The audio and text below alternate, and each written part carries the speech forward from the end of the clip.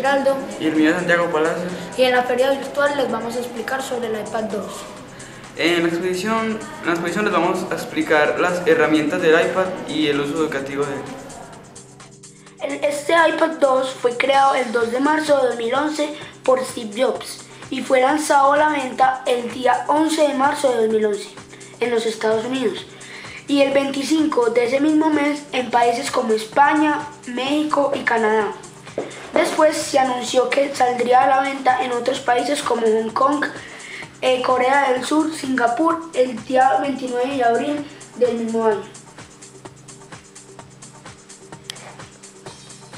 Eh, sus funciones.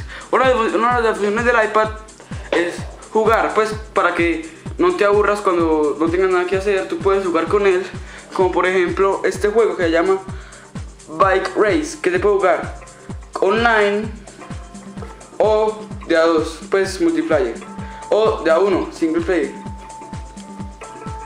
También se puede ver el correo.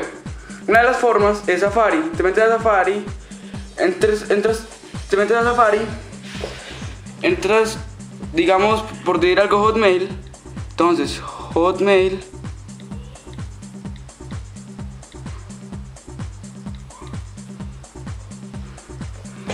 Entonces, va a entrar a Hotmail, pones tu correo, tu contraseña y listo, y entras a tu correo. Y otra de las formas es por mail. Simplemente una aplicación que te da el iPad y de de una vez te lleva que pongas tu contraseña y tu correo. Por ejemplo, aquí ya hay un mail abierto. Otra de las funciones del iPad es realizar consultas en internet. Son muy actualizadas. Por ejemplo, aquí hay unas fotos de Steve Jobs. Eh, por ejemplo, aquí pueden ver una con el iPhone, que es el 4 creo, el iPad, iPod, los, primeros computadores Mac y muchas otras cosas.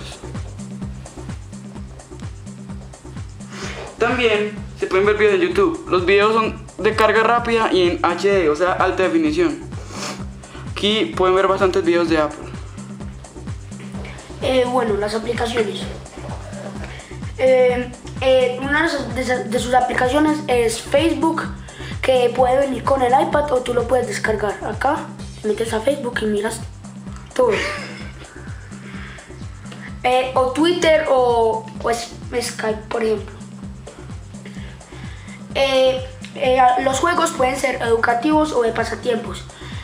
Algunos de los educativos son, por ejemplo, mm, Babel, que es en alemán, alemán en un mes, conjugación de alemán o Google Earth. Y algunos, y los otros son pasatiempos, que son todos estos juegos que ven acá. Eh, los principales juegos que le gustan más a la gente es Temple Run y Angry Birds. Eh, también pues se pueden ver mapas. Eh, los mapas eh, en Google Earth tú pones el nombre del país que tú quieras y lo buscas y te aparece. Pero esto es más que todo para países y lugares. O Maps que es, que es para buscar ciudades o calles pa- o para ubicarte en la ciudad. Eso es Miami. Eh, también se pueden consultar noticias actualizadas en periódicos eh, como El Tiempo eh, o El Colombiano. Y también en revistas como Semana y Dinero. Eh, otro lugar para guardar los, eh, los periódicos de las revistas en el, en el kiosco. Por ejemplo, acá hay una revista de Semana. Semana. Eh, listo. Entonces... Listo, también se pueden editar las imágenes en el iPad. Las principales son Photogen, Photoshop, Touch Retouch o Photoboot. Acá tenemos es Photoboot. Las imágenes se pueden ver en rayos X, en túnel de luz, en estiramiento, en espejo normal, con remolino, cámara térmica, eh, caleidoscopio y comprensión. Bueno, ahora les voy a hablar de su creador, Steve Jobs. Steve Jobs tiene muchas otras, ot- otras creaciones, como por ejemplo el iPhone 1, 2, 3, 4S y 5, el iPod 1, 2, 3, iPod Nano, iPod Touch y muchos otros iPods. También están los computadores Mac que fueron de los primeros inventos de Apple. Steve Jobs nació en San Francisco, California, el día 24 de febrero de 1955.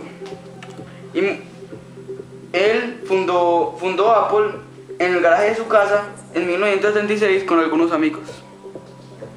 Murió en Palo Alto, California, el 5 de octubre de 2011. Eh, listo, las ventajas y las desventajas del iPad 2. Eh, una ventaja es que al voltear el iPad, la, la, pantalla se organiza para que quede al derecho, pues se acomoda como al lado que tú lo voltees. Eh, una desventaja es que no puedes usar internet si no, si no tienes wifi o tienes, tienes que pagar plan. Eh, otra, otra de sus ventajas es su gran uso, que su batería puede durar hasta 10 horas en uso. Mm, otra ventaja es su pantalla que es muy amplia y 7 pulgadas. Eh, las, y las películas y los juegos se, pueden ver en HD, que es High Definition, que en español significa alta definición. Otra ventaja es su ergonomía, que permite llevarlo eh, con gran comodidad y tiene un muy buen peso. Eh, algunas de sus desventajas es que cuando vas a escribir no resulta muy como, pues no resulta eh, muy como escribir como así como lo tenemos nosotros parado, porque se va para atrás el iPad cuando tú escribes.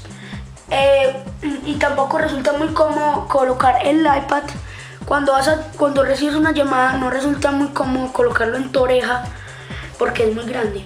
Mm, tampoco, también es muy difícil tomar fotos de noche ya que el iPad 2 no tiene flash. Su uso educativo. Algunos colegios en Estados Unidos lo usan como para, para que las clases sean más didácticas y emocionantes y los alumnos no se duerman ni se aburren. Una de las aplicaciones, muchas de las aplicaciones educativas son como diccionarios, y, y pues como el que tengo aquí es Spons y una aplicación más es Mindomo que es como para hacer exposiciones. En internet se pueden realizar consultas y muy actualizadas como ya les había dicho antes y de lo que quieras en cualquier página. Gracias. Eh, espero que les guste nuestro proyecto. Si tienen alguna duda o inquietud, escriban debajo de él o, y, y si les gusta, denle like. Gracias.